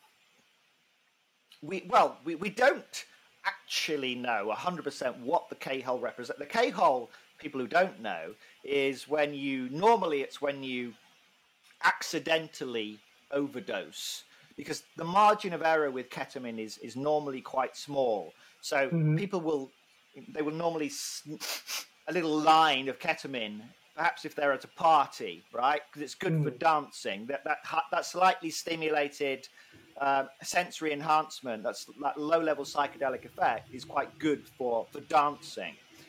But if you take slightly too much, you start to dip uh, into that mm. anesthetic realm. Uh, and the further you go, you know, over that threshold, the more anesthetized it becomes, the more um, dissociated you go, go from the environment. And we think that that is probably what represents uh, the K-hole state, is when um, you're accidentally, I, I, describe it as slipping. You slip into a K hole. Um, most people don't um, call it a K hole unless it's kind of accidental. Uh, you know, if you're if you're deliberately using it to access these other worlds, that would just be kind of the next stage, um, the next the next plateau that you're trying to reach. But most people, they kind of they're, they're kind of ah. bobbling, bobbing along quite nicely, and then shoo, they slip into this this different ah. domain. And and the more you take, of course, the stronger that sensation um, becomes. The more you become dissociated, the more you become disconnected from the environment. And there is some evidence that was published very very recently that you're actually um, selectively um, uh, inhibiting certain neurons. You are activating neurons that are important for uh, constructing the world model, but you're inhibiting neurons that are important for connecting your brain. There are, there are those sent those prediction error neurons. Yes, you, you start mm-hmm. to inhibit those more selectively, whilst um, allowing these um, neurons that aren't connected to the environment, the ones that are constructing your world model, they remain active, and so you get this this process of more uh, of more and more complete disconnection from the environment as those error signals start to um, start to go lower and lower and lower and become more and more diminished until you become completely disconnected from the environment. And then, just like with the tropanes, in a way, you are in you're in a, an entirely novel world that has no relationship or no connection to the environment. Yeah, um, um, you know, w- when I was looking at this, uh, uh, there was a study I think it was done on sheep, and um, where they yeah. were looking at, right? Uh, I saw and, this. Yes. Yeah, and, and, and actually, what was interesting to me about ketamine was that you know uh, you know that in deep meditators um, there's an oscillation between the theta and gamma um, uh, waves, and the front of the brain is a strong theta, and the back of the brain is a strong gamma. And they find out that when you're on ketamine, it's the same thing. They say they find the same theta gamma oscillation so I said, wow, this could be a you know meditation molecule at the right dose. but, anyway, yeah, uh, yeah. yeah, right. It's like yeah, the sheep study. Sorry, the, the sheep study is kind of interesting. What they saw, I, I don't necessarily. They, the the, the headline, you know, the, the, the clickbait headline was that they discovered the the neural the neural signature of the K hole. What mm-hmm. they saw is that as they increased the dosage in the sheep, they got these brief epochs, these brief periods mm. where neural activity seemed to stop. Um, you get the EEG would almost flatline. Uh, you would see no neural activity at all, and they said that's the K hole. Um, I'm not 100% convinced. I'm not sure. Perhaps that would be a really anesthetized, extremely dissociated yeah. state. But I'm not. I'm, I'm not convinced it represents what most people uh, is, or what's going on in most people's brains when they they they describe what they call a K hole. I think the K hole is it's a little bit removed. That's pretty extreme when neural mm-hmm. activity mm-hmm. shuts down temporarily. Yeah. I'm, yeah. I'm, not sure you'd even be conscious at well, you probably wouldn't be conscious at all mm-hmm. uh, in that state. And the K hole doesn't seem to be a state of just um, losing consciousness, but it seems to have. Uh, it has structure, it has character. There's awareness there, but it's extremely dissociated. It's extremely different to the, the, the low level psychedelics. So I don't think K hole is actually well defined. It's more of something people describe mm-hmm. rather than we've been able to pinpoint exactly uh, at what I, point it happens. I think the desirability for it for me is that if you just have the right blip for like a minute or two in there. Mm. When you get out of it, you feel this instant reset of your brain. And mm. it's just like everything just goes out. Someone flips the switch off and then flips the switch on like a minute later.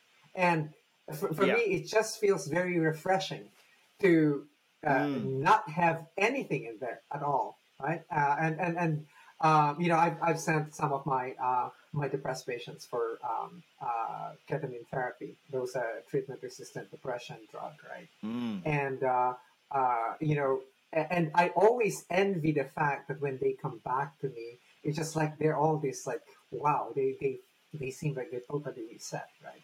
And of course, they have to be guided by a psychiatrist to do it and so on. But you know, um, yeah, yeah. when they come back, it's like you know you can feel that mental reset.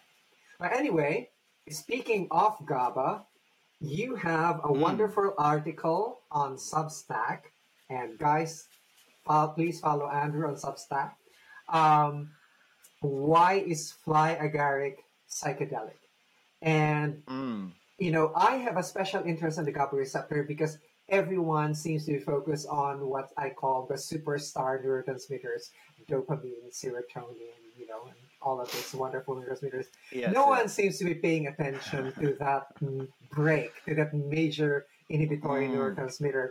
For me, it's just like, you know, they're the wireless signals. You know, glutamate is the excitatory signal, and then you have uh, uh, the, uh, the GABA, which is the um, uh, inhibitory signal. And you know, it was just, you know, I, I, have been formulating, like, uh, I, I, formulated uh, a product recently that had um, uh, uh, nicotinamyl GABA, right? Uh, nicotinamyl GABA, which uh, is basically GABA that is complex with uh, niacin, right? So you could cross the blood-brain barrier using mm. the GABA as a payload, and because GABA is notoriously, uh, you know, a big molecule and cannot be absorbed um, it can cross the blood-brain barrier. But if you complex it with uh, niacin, you could actually pull it and and uh, have it hydrolyzed in the brain. And uh, that was my uh, endogenous ligand, basically GABA. And then mm. I put in a positive allosteric modulator, which was uh, kava, you know, kavain. Uh, yeah. I, you know, here I use the, as I said, I don't like formulating with actual plants. I like to formulate with actual crystals. So uh, that's what I've been using. And I am proceeding actually, which you didn't mention in the article, and we could talk about it now, is that you know, you know, well, okay, everyone leaves GABA B alone. So let's talk about GABA A, right? And and uh, yes. uh, and all, all, the wonderful things that, that that he said. It's like if you want, if you if you ask someone about GABA B, you just say, ah, just use for spasticity, and then everyone goes to GABA A because of the diazepam, etc. Now, the the thing that um that I was uh, looking at here was that you know, the, the effectiveness, uh, for example, the, um, uh, the positive allosteric modulators would work only if there is the endogenous ligand or an orthosteric ligand present. You know, in that uh, in that article, for example, you could use uh, Muscimol. I, after hearing um, uh, Hamilton Morris pronounce it as Muscimol, and I was pronouncing it as Musimol, uh, I looked at the pronunciation on the internet, and it's supposed to be Muscimol but it's from Amanita I say muscimol, yeah. uh, it's yes. from Amanita muscaria, so it looks like muscimol, but yeah. I, I said, well, okay, whatever, muscimol it is. um, but uh, it's an orthosteric ligand of the GABA receptor, right? And my, my question is, you know, uh, is the when you use positive allosteric modulators, like for example, the GABA A receptor has the positive allosteric modulator sites for uh, benzodiazepines, for for ethanol, um, you know, uh, and and uh, for even for progesterone, right, the neurosteroids, uh, they're in there. I, you know, I know this, Andrew, not because I'm an expert in this, but because I just gave a lecture on it in LA. So the, the, the, the, key, the key thing that I wanted to know was that could this really work with uh, just uh, you know, uh, low levels of GABA around, or if this works with the presumption that GABA is present. Because um, you know, um, eh, I, I, you know, if you if you look around, this is you know, in, in stat pearls, for example, which we use as clinicians, is positive allosteric modulators work by increasing the frequency with which the chloride, uh, chlorine channel opens when an agonist binds to its own site on the GABA receptor. So my assumption was that you actually needed the uh, orthosteric ligand or the endogenous ligand bound before this would have any effect, or no? Uh, is this not required? That's not an assumption I've always made. That's a good question. I, I, I don't know the definitive answer there. My understanding has always been that, well, okay, so let's think about the receptor, as you pointed out there, you, the receptor is always always exists within a an equilibrium of states. It's always shifting, and with some receptors, that's very very complicated. You can get quite a number of states. We normally think of it as being open or closed, but as we both know, a receptor can actually exist often in a number of states, and it's it's fluctuating uh, between them. It's shifting from state to state, and it sets up this equilibrium. And what an allos, what a an agonist first of all is doing is it is increasing the likelihood or increasing the lowering the energy, if you like, of that open state. Mm-hmm. So it, it tends to spend more time in the open state during which chloride ions can pass through. And um, an allosteric modulator, a positive allosteric modulator, is binding at a separate site away from the agonist binding site. So it's not mm-hmm. an agonist, it's not binding in the same way that GABA binds, binding in a separate site, and also distorting the protein the three dimensional structure of the protein in some way, uh, twisting it out of shape. So again, it makes it more likely that it will be uh, that it will shift to the open state. Now, I've never made the assumption, maybe I've been wrong like you, uh, if, if this information is correct, I've never made the assumption that the, the endogenous agonist has to be there as well uh, for that to work. I imagine it would be enhanced if you have the, the endogenous, because then mm-hmm. you've got two. Um, you've got you know you've got two positive effects. You've got the, the, the natural agonist, and then you've got the um, the allosteric um, positive allosteric um, modulator. Um, now it might be different for different receptors and for different allosteric modulators. So mm-hmm. some perhaps might well be able to directly um, shift the receptor into the open state. Others might uh, might have some kind of use dependence. It would be another case mm-hmm. of use dependence where it's only when the, the, the endogenous agonist is bound, um, then the allosteric modulator can bind and perhaps uh, increase the time, the opening time, increase the, the, the duration of time uh, when the the channel is open. Could, I think yeah. there's there's more than one way to allosterically modulate a receptor, and yeah. I imagine it will be different for both different receptors and for different allosteric modulators. So I don't think it's um, it's, it's as clear cut as that. Yeah, it, it, you know, because it bothered me because I um, I basically audited a lecture of someone from uh, Mass Gen, and uh, essentially it was their you know categorically state categorically stated. Uh, uh, you mm. know, which we as uh, researchers know, categorical statements are really very, very, very mm-hmm. difficult things to to have in your head when you're doing um, research or formulation. As you said, you know, a positive uh, allosteric modulators work only if there is uh, an agonist bound to the to the uh, uh, to the GABA site. And and I said, well, is this true, right? And then I look mm. around uh, for all the references, and it seems to be like yes, it's actually you know it's what's uh, the accepted belief right now is that you should have something in there. Mm. So that in my formulation, I actually put in uh, you know an orthosteric ligand plus Kavain as a positive allosteric modulator, and it works mm. right as an uh, as an anxiolytic uh, very, uh, very well. But you know that Kava, you know, would work uh, by itself, right? Mm-hmm. Because it's given as tea, you know, before they settle tribal wars in the Pacific Islands, right? Uh, to to calm you down. Uh, so, yeah. and I, I, I, actually like for for our audience here, you know, in the the GABA, GABA A receptor there are uh, uh, sites other than the site where the GABA agonist would bind or the GABA itself would bind, uh, called allosteric modulators, and they are separate for, for example, uh, benzodiazepines. Uh, there are separate uh, sites for for other um, other molecules to to bind in there, like the zolpidem, the other Z drugs would bind in there, and mm. you know we know that different compositions of the alpha, beta, um, uh, gamma, delta, you know, uh, subunits, they, they produce different things uh, uh there and depends on the degree of uh, binding to like two subunits, right? Uh, any two subunits. you know, what was interesting for me is that I actually never knew that a Muscimol, for example, was alpha 4 and delta, right? And Mm. Uh, from that, Andrew, what is the predicted effect of Muscimol other than seeing reindeers fly? And, uh, and having the having the having the origins of Christmas, you know, from uh, uh copying the the the, uh, the cap of the Amanita muscaria of uh, red with white dots. Yeah. Um, so yeah, it, the, the the Amanita muscaria, it's a fascinating mushroom. We actually don't know. I wrote, I wrote this article, as you said, on Substack, Why is Agaric Psychedelic, just this last week.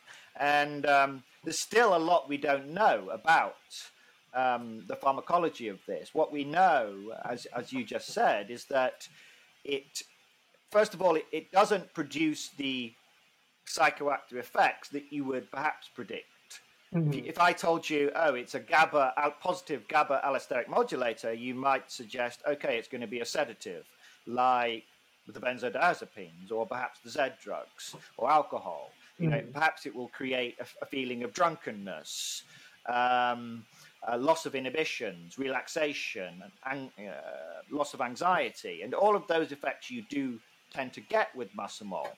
Um, but then it also has this additional effect, which is more of a psychedelic effect, a visionary effect. People mm-hmm. experience uh, enhancements of their perception. They uh, report having extremely vivid dreams where they see little elf like being, beings that they communicate with and they ask advice from.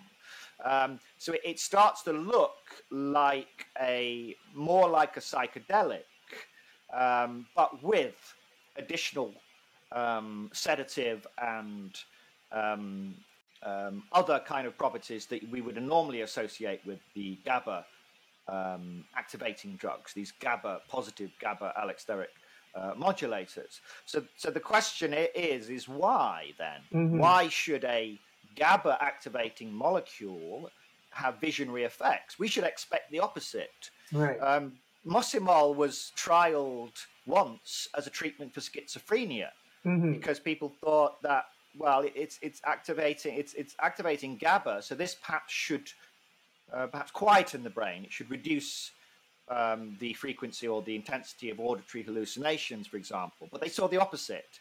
The, mm-hmm. the psychosis got worse. Um, so so it really does seem to have these um, psychedelic properties, and that was um, something of a mystery for some time um, until people started noticing, particularly with the Z drugs as well, which are mm. also um, they work similar to the benzodiazepine, but they they bind at different uh, GABA receptor subunits, and they also, in high doses, quite rarely, but very well documented, they can produce hallucinations in some people. So there seems to be something more going on with this GABA mm. activation or and, GABA. Yeah, we don't know the mechanism yet for that.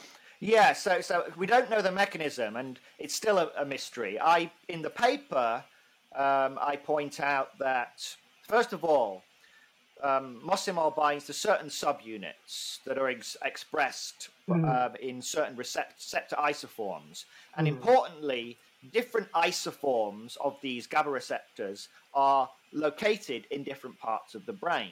Yeah. So you get not only um, subtype specificity, but actually brain area selectivity. Yeah, yeah. So these drugs will tend to bind to those GABA receptors in those parts of the brain that have those subunits.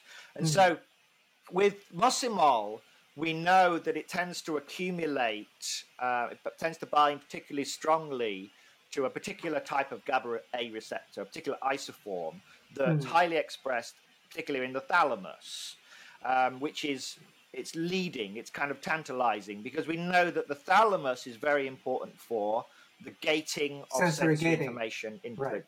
yeah sensory right. gating. gating. It's yeah. also important for unifying and controlling cortical activity. There are all of these.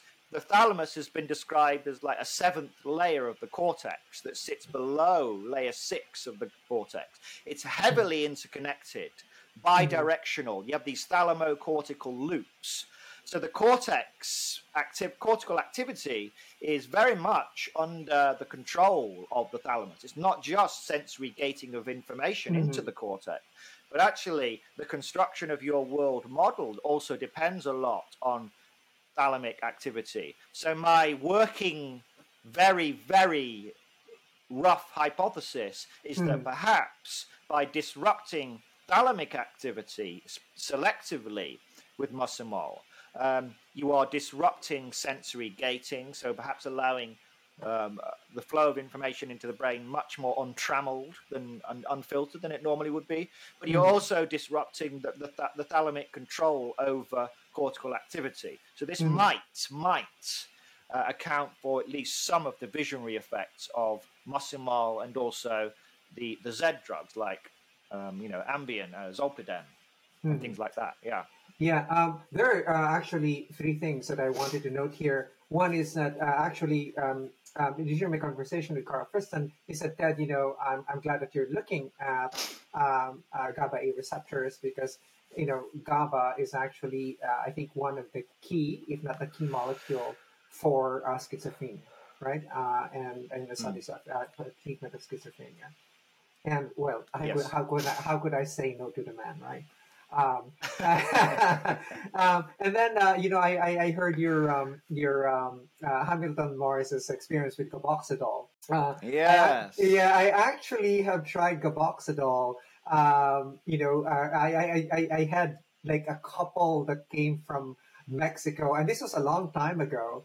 And I took one Gaboxidol just for sleep, and I could confirm uh, actually Hamilton Morris's experience of uh, like, holy wow. shit, this is actually psychedelic. there we go. yeah. yeah. Um, uh, and um, uh, and for um, uh, uh, the uh, in terms of, of, of the, uh, uh, the, other thing that you mentioned was, of course, the thalamus doing sensory gating. And I do remember someone actually saying that perhaps uh, this was the reducing valve that Aldous Huxley was uh, looking for in the doors of perception. Anyway, uh, yes, yes, it was precisely yes. Yeah, um, it was kind of neat like that. So anyway, we are uh, we have exhausted our three topics, uh, and thank you so much for all the detail. Uh, and my final question is actually very simple: mm. What are the three things you recommend we all do to live life smarter, not harder? Oh, I can give you two and see if okay. you need the third. Um, so, yes, smarter but not harder. Well, I think the important thing, the, the advice that I would give to, I always, the advice I always give to young people who ask me, sometimes, occasionally, people come to me for advice, not very often, but occasionally when they do, I always say, um, uh, as, as Bukowski allegedly said, find what you love and let it kill you. Um, find what it is. yes. I love it. You never heard that? No, no, no, no. yes. Find what you love and let it kill you. I think that's great advice. You know, find what you. Are work you sure out what kill the one I love?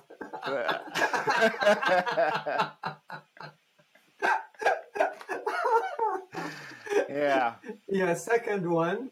Yes. Yes. So find out what you want to do with your life and work out how you can spend more and more time doing that until that's all you do. And then eventually let it kill you, right? Um, that's the key advice. Uh, don't get trapped in um, doing something you don't want to do for the rest of your life. That's I think that's fundamental, right? We're only here for a short time, so do what you love. I guess is the the, the pithy way of saying that. Secondly, I would say um, get to know plants, get to know psychedelic molecules. There is a whole, I would say, there's a whole world out there. There is a whole omniverse of other worlds out there. Um, tread carefully. These are extremely astonishing substances. These are remarkable substances. They have immense power. Uh, but I think everybody now, we are in this new age, the psychedelic age, the second psychedelic age, really, the psychedelic renaissance. We're in a, a, a new, a whole new period of existence where um, we are discovering and rediscovering these remarkable and uh, bizarre and fascinating and important worlds that um, that we should be exploring with as much ambition and vigor as with which we reach with our rocket ships to the stars, as I, I say in the book. Um, I think that's that's important. So getting to know psychedelics, getting to know, learn to use your nervous system is uh, what Tim- Timothy Leary famously said. Learn to use your nervous system. You are in possession of this, as I say in the book, this exquisite machine, this world building machine inside your head. Um, it is your responsibility, I think, um, to understand how it works, to understand it, uh, how you can actually learn to control it and to regulate it and uh, to manipulate its switches. And I think psychedelics are the um, the tools for for doing that. So that's number 2 mm-hmm. Number 3 mm-hmm. Number three.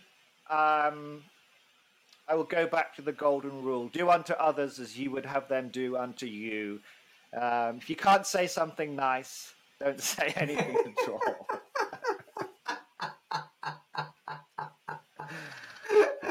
Yeah, a general one. well, it seems that Asia is influencing you already, huh? Absolutely, yes. well, what about uh, your your eight years there now, thereabouts, right? Sorry. Uh, you're, uh, you're you're eight years now uh, in in uh, Japan. Yes, eight years in Japan. It's starting to get into my under my skin, into my brain, and uh, I can't complain about that. So yeah, you're you're you're getting to be um, you know um, uh, not, not only acculturated, but you know um, you're getting to have the the uh, the, the values that are uh, in there as well, and I'm glad that you're very aware of what those values are. Thank you. Thank you so much, Andrew. And uh, uh, we're gonna put it, we're gonna put this in the show notes. But um, uh, just uh, uh, for our listeners here who are listening, where can people find you? Uh, yes, the first port of call would be my website, alieninsect.net. There you can find links to my interviews and my papers and some of my slideshows. You can find links to kind of check out my books. You can also buy my books if you wish directly from my website.